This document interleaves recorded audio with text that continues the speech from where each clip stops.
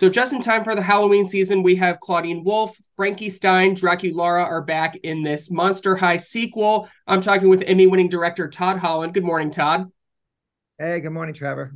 So, can you give us a quick recap on the first Monster High that premiered last year? Now, Monster High was all about Clawdeen having a big secret. She goes to Monster High, and what she's hiding is that she's half human, half wolf. And Monster High has very little has zero tolerance for humans. So she comes to school with a big secret and basically has to learn.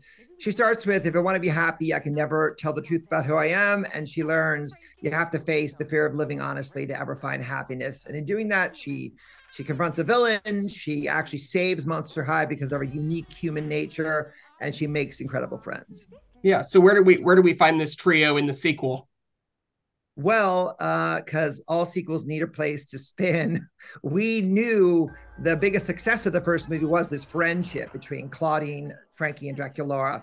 So, picking up where the first film left off, we wanted to threaten that most of all, that friendship. So, we bump right into our own happy ending where Clawdeen was finally loved and accepted.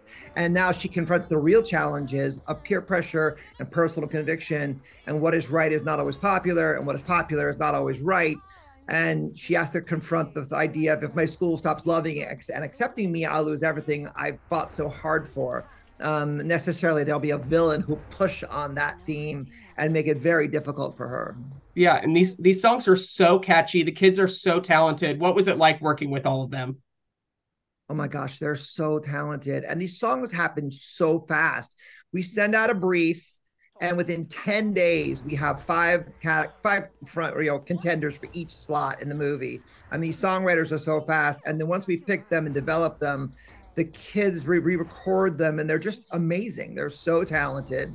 Um, and it's one of the biggest joys is the musical side of it from it's such a fast process and yet suddenly you're on set and you're choreographing it and you're dancing to it and it's kind of magical that that side of it.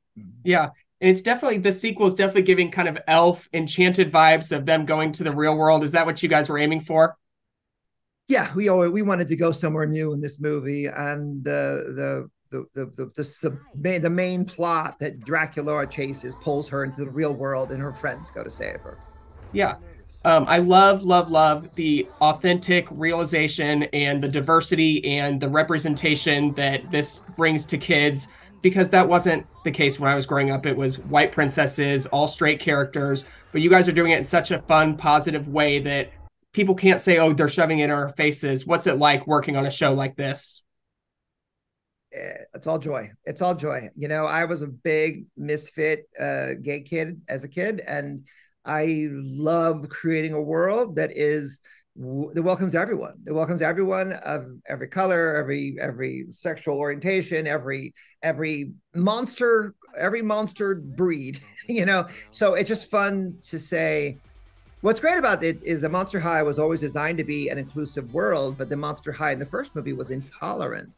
And that's what's been fun about it is pushing against these questions of acceptance and inclusion in a world built on inclusion. So so that's what's been interesting. And the, this second movie, we were able to push a little further.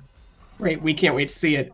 So I have to ask the million or billion dollar question in the room since Mattel also makes Monster High and Barbie what do you think of Barbie's success? Huge, huge fun. Uh, Barbie, I loved Barbie. Honestly, I didn't know what to expect. It means Barbie. What what was it going to be? And so when I I enjoyed it and thought it was thoughtful and and intriguing, I thought, oh, that was a really thoughtful movie that talked about social issues in a way I wasn't sure Barbie could. So hats off to Greta and Noah and the writers and and the director Greta. Um, and so it's amazing. So yeah. So can we expect a trilogy with Monster High or possibly even more than that?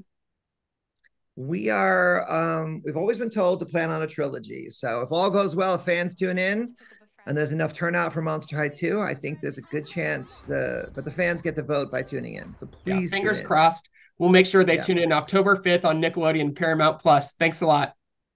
Thanks so much, Trevor. Take care.